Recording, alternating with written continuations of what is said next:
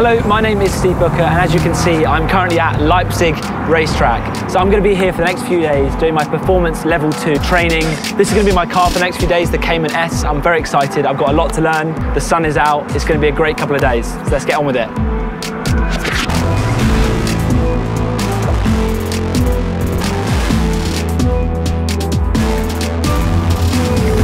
The Leipzig track is very fast and also quite technical.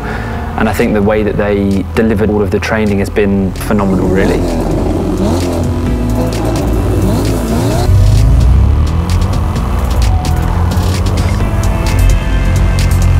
Inside, inside, inside, oversteering, power, power, power, power. Yeah, a bit oversteer. I think the most unique thing about the course is that all of the corners are like hand-picked from all of the best tracks around the world.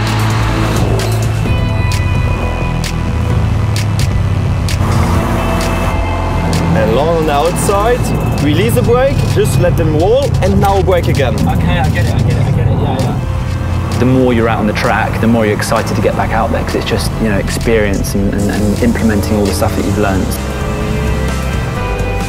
Starting the training, you know, you're almost fighting the car. And then by the end of it, it sounds silly, but you're like dancing with it. Wow, it makes such a difference. Yeah, and you see how, how fast you close the gap. Wow, insane.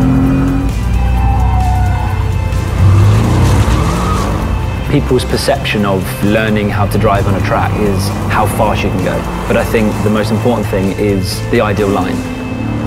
Yeah, perfect, perfect, perfect, perfect. That felt good, that one. It's all about the line though, isn't it?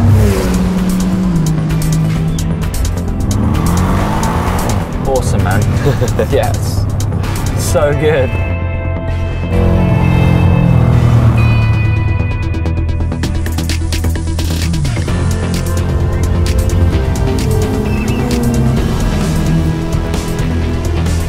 Oh my gosh, at the end of the day, it leaves you on the ultimate high.